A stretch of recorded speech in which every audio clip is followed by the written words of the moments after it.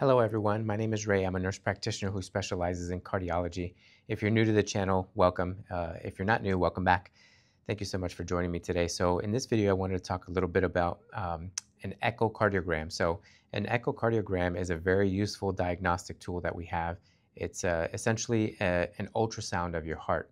So many of you have probably had one, but uh, just to explain what it is, it's basically a probe that gets put on um, your chest on the outside. There's actually two kinds of echocardiograms. I'll first go over the basic one, which is a transthoracic echocardiogram.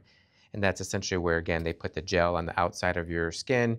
They take multiple pictures. Uh, it's done by a professional called a sonographer. And uh, he or she has uh, done a program that is specifically geared towards, uh, you know, taking pictures of the heart. And so they are experts in their field. Uh, they are well versed in um, you know taking uh, great pictures so the cardiologist can take a look. And what that test tells us is basically uh, gives us uh, quite a few uh, quite a bit of information about your heart.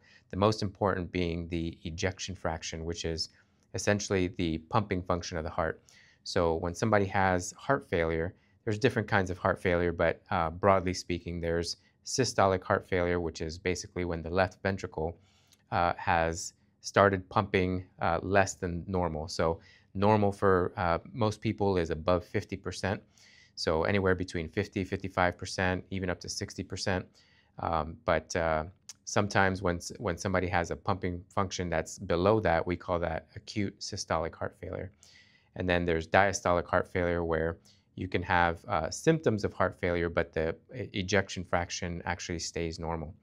So, and there's a lot more nuances that goes into heart failure, and I'll do some more videos in the future regarding heart failure. But uh, the other thing that the echocardiogram can show us is uh, how well the valves are opening and closing.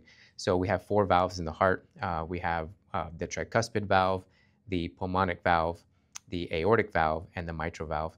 And I'll probably do another video that goes a little bit more into you know valvular issues. But uh, somebody that has severe valvular disease, um, they uh, are also in those uh, people that should. That's a relative contraindication to doing exercise.